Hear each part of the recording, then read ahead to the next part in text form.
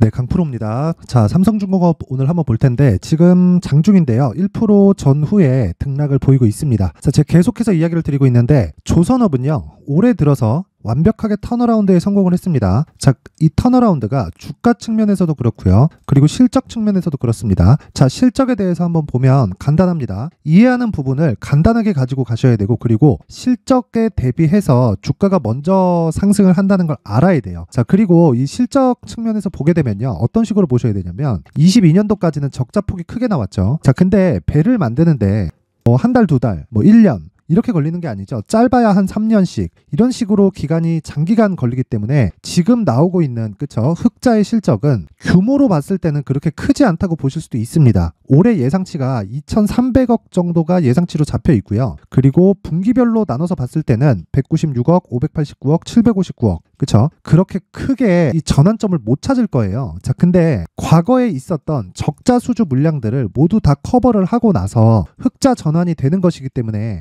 올해 흑자 전환에 대한 이 규모 자체가 크지 않다는 건 주가 측면에서는 굉장히 큰 호재가 됩니다. 자, 그리고 무엇보다도 실적이 가파르게 상승하는, 그쵸? 지금도 가파르게 상승하고는 있지만 실적의 이 절대적인 폭 자체가 크지 않잖아요. 그쵸? 여기 적자를 볼 때 보면요. 직전 5년치에 대한 움직임을 보면 뭐 4천억, 6천억, 1조 이상, 1조 3천억, 8,500억 이런 식으로 적자를 봐왔기 때문에 이런 부분을 다 털기 위해서는 그쵸? 상당 부분 필요합니다. 자, 근데 올해 다 털어가는 그런 움직임을 보이고 있다. 그리고 내년부터는 흑자에 대한 폭이 커지고요. 대략 25년도까지 올라갔을 때는 자 매출액 성장률보다 이익의 성장률이 더 크다는 거죠. 이렇다는 건 의미하는 바가 뭘까요? 선가 자체가 높아진다는 거예요. 그렇죠? 그래서 제가 조선주들은 앞으로 좋아질 부분을 모두 다 가지고 있다고 이야기를 드리는 거고 특히나 거기서 삼성중공업은요 수주량 그리고 선가 측면에서는 가장 앞선 이 성장세를 보이고 있습니다. 가파르게 회복 단계를 거치고 있다고 보시면 되고 제가 계속해서 말씀드리지만 주가는요 실적보다 그쵸? 실적보다 먼저 올라갑니다. 자, 실제 6월 달에 신고가를 만들고 나서 7월 달에 상승폭이 가파르게 발생을 한 것은 맞습니다. 자, 그런데 제가 이 구간에서는 실적에 대한 확인 과정이 필요하다고 이야기를 드렸어요. 근데 나쁘다고 해서 제가 확인이 필요한 게 아니라 주가가 먼저 올라왔기 때문에 그쵸? 조정 구간을 거쳐야 된다는 거고 그리고 9월 그리고 10월 달에 나왔었던 조정은요. 한 가지 내용만 기억하시면 됩니다. 시장에 대한 안 좋은 부분을 반영하면서 주가가 빠진 거다. 즉 시장이 하락함으로 인해서 주가가 하락했다는 거죠. 자, 이런 구간에서 지금도 시장이 안 좋아지면서 하락할 수 있는 거 아닌가?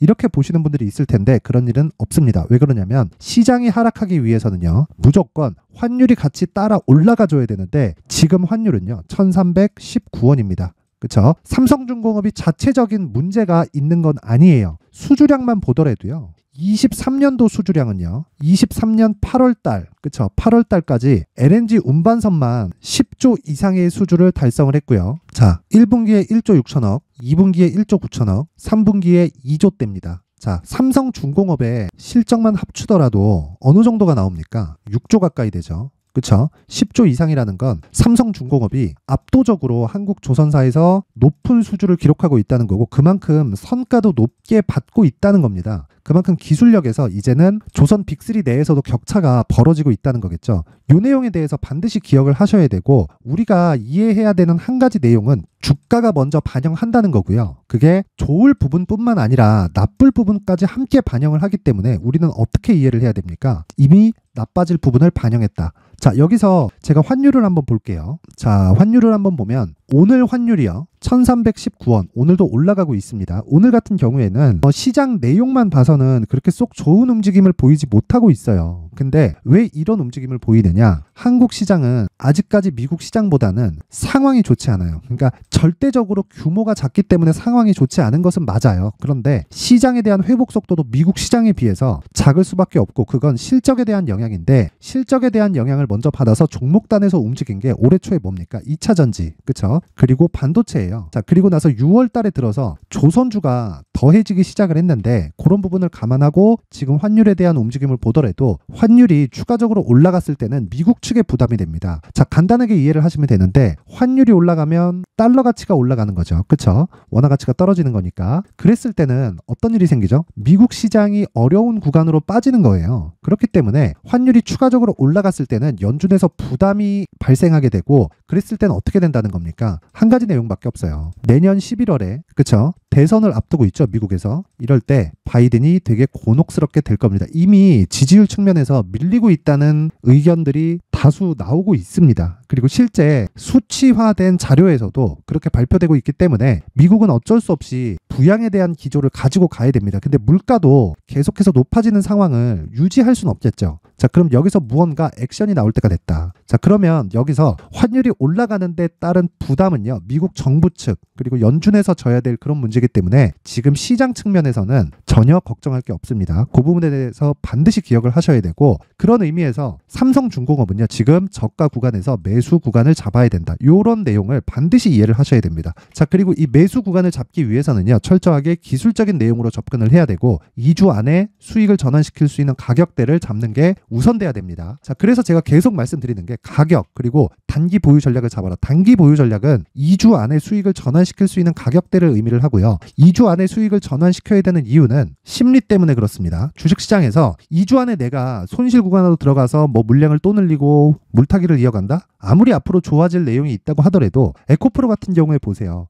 에코프로 성장하지 않을 거라고 생각하나요? 당연히 성장하겠죠. 근데 150만 원에서 막 60만 원, 70만 원까지 빠지잖아요. 그러면 어떻게 됩니까? 쫄립니다. 이건 어쩔 수가 없어요. 그래서 내가 얼마에 잡는지가 중요한 거지 어떤 종목을 잡는지는 얼마에 잡는 걸 판단하고 난 이후가 되어야 됩니다. 자, 그래서 계속해서 강조드리는 단기 보유 전략, 그쵸? 2주 안에 수익을 볼 수 있는 가격대를 잡는 게 우선해야 되고, 자, 최근에 어? 어, 오늘 같은 경우에도 그래요. 시장의 내용이 좋지 않지만 시장의 내용이 좋지 않은 과정에서 2차 전지는 강세를 보입니다. 이렇다 보니까 그쵸? 2차 전지 쪽으로 수급이 쏠려 들어가게 되고 나머지 종목들은 상황이 안 좋은 좀 그런 상황이 되고 있기 때문에 반대로 우리가 역으로 돌려서 봤을 때 2차 전지만을 우리가 보유해 갈 수 없죠. 그쵸?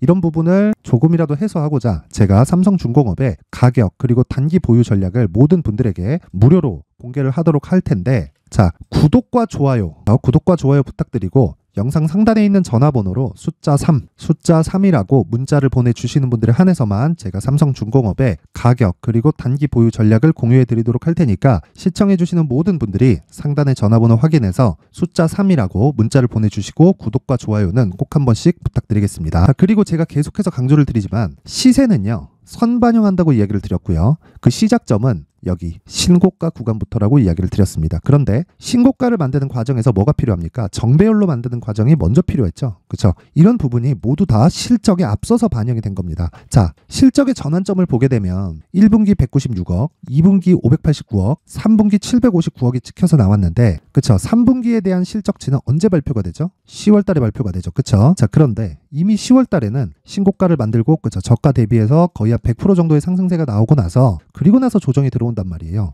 이때 3분기 실적이 나오고 지금은 매물 소화 과정을 보내고 있다. 즉 우리가 매매해야 되는 건 신고가 이유가 되고요. 그리고 매도하고 지금은 재매수 구간을 잡아야 된다. 자 그렇게 계속해서 신고가 매매를 하는 제가 어, 강프로 소통방에 대해서 안내를 하고 갈 텐데 뭐 긴 이야기 드리지 않겠습니다. 자 간단하게 오늘 같은 경우에는요. 자 부방 그쵸? 8시 48분 장 시작 전에 나가고 부국철강 8시 49분 장 시작 전에 나가죠. 에코프로 머티 8시 50분. 이건 제가 계속해서 그쵸 강세를 보이고 있을 만한 종목으로 계속된 언급을 하고 있는 그런 종목입니다. 자 보세요. 12월 8일 지난 금요일인데 에코프로 머티리얼즈 같은 경우에도 하락 후 급등 중 2차 전지대 에코프로 머티만 매수 가능하다. 가격과 시점이 중요하다. 그쵸? 그 시점에 대한 걸 제가 매일매일 잡아드리고 있는 거고 오늘뿐만 아니라 계속해서 매수를 이어갔었던 게 하락하고 있었던 12월 7일부터입니다. 그쵸? 11만 4천 600원. 그쵸? 오늘도 5%대 하락. 에코프로비엠보다 더 하락폭이 크다. 단기 차익이 나오고 있는 것.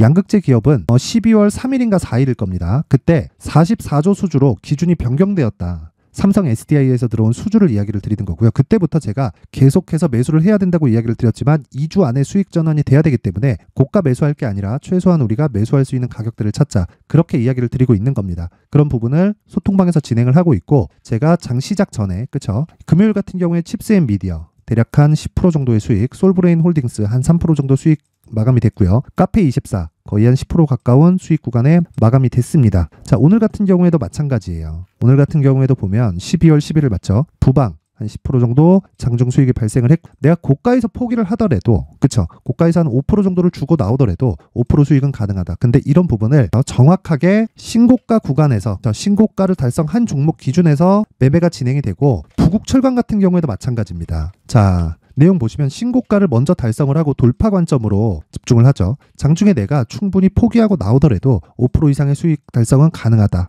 자, 매매하는 과정에서 내가 가격대를 잘 못 잡겠다. 그리고 매매 기법에 대해서 궁금하다. 한번 배워보고 싶다 하시는 분들은요. 강프로의 무료 소통방으로 입장하시면 되고 제가 신고가를 추적하는 검색기까지 함께 제공을 하고 있으니까 구독과 좋아요, 구독과 좋아요 부탁드리고 상단에 있는 전화번호로 참여, 참여라고 문자를 보내주시는 분들에 한해서만 제가 구독과 좋아요를 눌렀다는 걸로 인지를 하고 소통방 입장 링크를 순차적으로 공유를 해드리도록 하겠습니다. 자, 항상 영상 시청해주셔서 감사드리고요. 무엇보다 중요한 건 신고가 종목을 매매를 해야 된다는 거고 그리고 삼성중공업은 다시 신고가 돌파가 나오는 첫 번째 단계인 정배열 구간에 들어왔습니다. 그쵸? 수급보다 중요한 건 가격이 얼마에 있는지 그리고 저가를 잡지 않는 것입니다. 주식시장에서 저가를 잡으려고 노력을 하다 보면 이득은 없고 손해만 보게 될 거예요. 그리고 돈보다 시간에 대한 손실이 훨씬 더 클 겁니다. 어렵게 매매하지 마시고요. 신고가에 대한 이해를 하는 게 가장 중요합니다. 그런 부분을 앞서 말씀드렸던 가격과 단기 보유 전략으로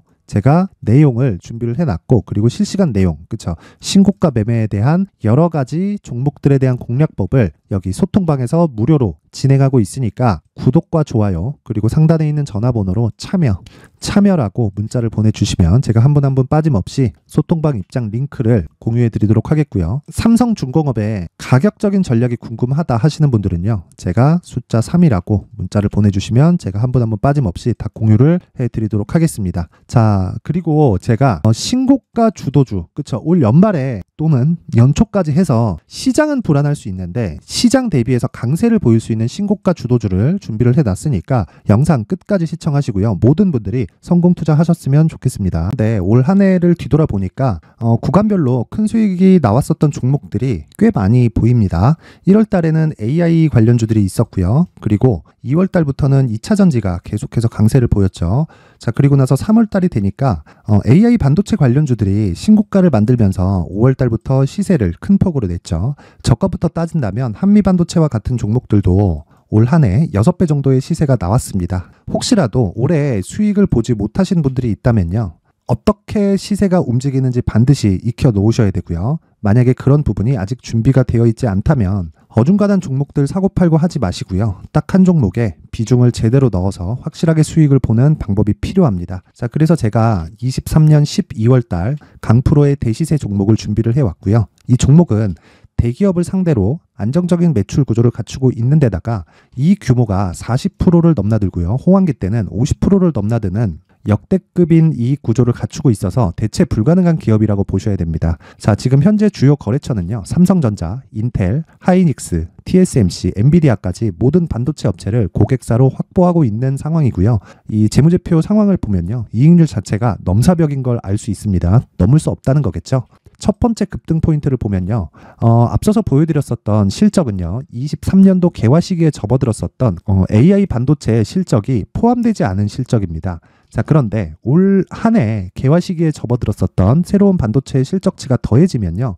질적인 성장보다 양적인 증가가 함께 이루어지게 되고요. 그런 부분을 한미 반도체가 이미 시세로 보여줬죠. 저가부터 6배 강세를 보인 상황이 있습니다. 강프로의 무료 소통방이죠. 어떻게 매매를 했느냐? 5월 25일 날, 그쵸? ISC를 49,800원에 매수를 했고요. 자, 그리고 나서 두 달도 되지 않아서 한 100% 정도의 수익을 만들어냈습니다. 자, 근데 6월 2일 날 내용 한번 확인해 보시면 자 한미 반도체 2만 6천 원까지 올려서 잡겠다는 내용이 있죠. ISC와 함께 새로운 반도체 관련 종목입니다. 이때 당시 가격이 25,650원이었는데 그냥 올려서 잡으라는 거겠죠. 지금 현재 한미 반도체 가격이 62,000원인 걸 본다면요.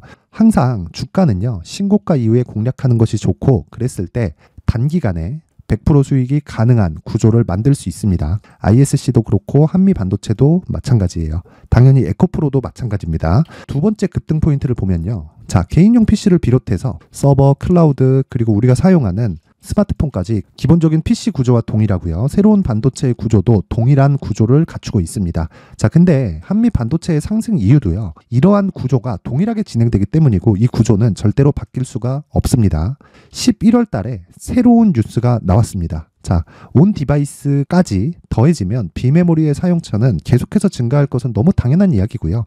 그런 부분을 감안했을 때 이 기업은요. 질적인 부분에 대한 성장이 아니라 양적인 증가까지 이룰 수 있는 상황이 된 겁니다. 한미 반도체의 시세를 보면 아직은 굉장히 저렴한 상태를 유지하고 있고요. 세 번째 상황을 보면요. 엔비디아의 실적인데요. 이건 올해 초 대비해서 4배 정도의 상승폭이 나왔고요. 그 주가도 그 정도가 당연히 올랐죠.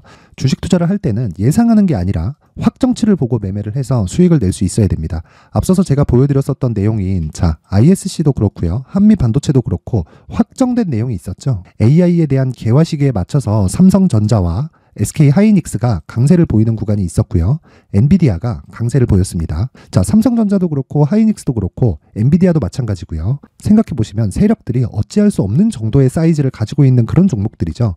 그렇기 때문에 제가 계속해서 이야기를 드리는 겁니다. 확인하는 데는 확정치가 필요하다고요. 엔비디아 실적만큼 확실한 재료가 있을까요? 엔비디아의 실적의 증가세는요. 앞으로 다가올 AI 반도체의 수요 증가가 있을 수밖에 없다는 거고 그리고 그에 맞춰서 단가는 폭증하고 있는 상황인 게 엔비디아의 실적을 보면 알 수 있고요. 그리고 삼성전자와 SK 하이닉스로 연결이 되고요. 그래서 한미반도체가 올라온 그런 상황입니다. 한미반도체만큼 추가적으로 상승할 수 있는 종목이 있다는 게 하이닉스를 포함해서 삼성전자의 시세 그리고 엔비디아의 실적을 보면 알 수 있고요. 그래서 준비한 4분기 대시세 종목 내년 초까지 강세를 보일 수 있는 종목을 준비를 해왔습니다. 어렵게 생각하지 마시고요. 기본적으로 신고가 구간에 있는 종목이기 때문에 하락에 대한 저항성은 충분히 갖춰져 있는 종목이고 이미 시세가 시작이 됐습니다. 자, 무엇보다 중요한 건 얼마에 사는 걸 텐데 제가 그런 부분까지 상세하게 준비를 해 놨으니까 영상 상단에 있는 전화번호로 대시세 대시세라고 문자를 보내주시는 분들에 한해서만 무료로 공개를 하도록 하겠습니다. 매매하는 과정에서 수익이 잘 안 난다 하시는 분들은 이 종목 딱 받아가서 큰 수익 내셨으면 좋겠습니다.